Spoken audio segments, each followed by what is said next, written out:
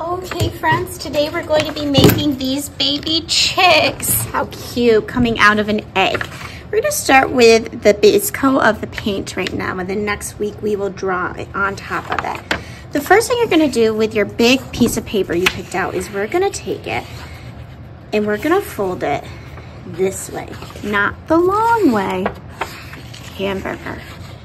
You're gonna take the ends and you're gonna line them up so that the corners match and hold with your non-writing hand.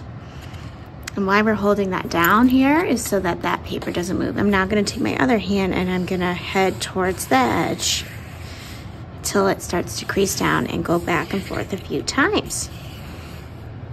Now I'm going to open it and we're gonna start our drawing. We are going to be painting on here and we're only gonna be doing half of the paint. And what's gonna happen is when we tran when we go to fold this over and rub, the art is going to transfer to the other side. That's called a print. So the first thing you're going to do is draw a big C near the edge of your paper. So you're gonna go in and with paint, we wanna be fast. You're gonna do a big C. You're now gonna take your paper and you're going to rub not tap, we're not tapping, we're rubbing. And we wanna rub a few times, adding pressure. If you need to stand while you do this, you can. And now, look at that, it's transferred to the other side. Now, if you want to, you can, now that we know where that is, go back and trace to add a little more paint on top. So that is how you make a print. And this is called a mono print because we can only print it once. Now that we've already printed it, it won't work again. So now I'm gonna do a zigzag to connect on that C shape, only on one side, because guess what I'm gonna do? Print it. So I'm gonna go in, and it's okay to be kind of thick with your paint, so this works. And I'm gonna go from the top to bottom with that zigzag. I'm gonna take it, make sure that it's even, rub good. And there we go, look at that. We have a perfect copy of the original drawing and what's going on on this side is exactly the same on this side and that's a type of balance in art and that's called symmetrical balance when things are the same on both sides. So now what I'm gonna do is paint inside these shapes and you do not need to print when you paint the inside. Um, we just wanna do the print to get the shape perfect, but for painting on the inside of it, just take your time, if you need to outline your shape first, then do that. Just like we've done in the past. And then paint. You might have to go over your paint more than once. And now I'm gonna go on this side. I'm gonna paint in there and I'm gonna outline first and then paint in. So outline first and then paint in. And you'll notice sometimes I can see the gray a little bit so all I have to do is just go back on top and do a second coat if you see a little bit of the background color showing through.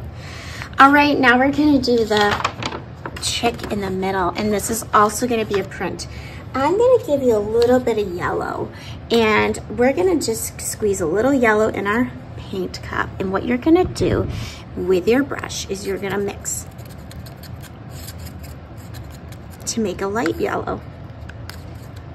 And what we're gonna do on our same side we've been using is a C. See where the crease is here? You wanna draw a C from that crease. Okay, save room for the wing. So you can see right from the crease. Go ahead and do that. All right, and now I'm going to go in and before I fill it in, print. Rub, rub. You can even rub that egg if you want to. Maybe some of the colors will transfer. Look at that. Now I'm gonna do the wing and that's gonna be a little V that comes off of that. So you're gonna do a little V shape like that and then print. All right, now that I have that, I'm gonna go in and I'm going to paint. Now, like we always do, outline your shape first.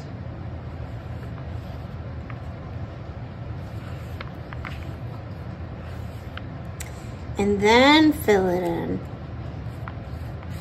And if you can see a little bit of the background, when you're done, do a second layer of your color. Look at that. That's the beginning of our baby chick. We will work on this more next time, friends. Awesome. Okay. You're going to add this to the drying rack and we'll work on it next week.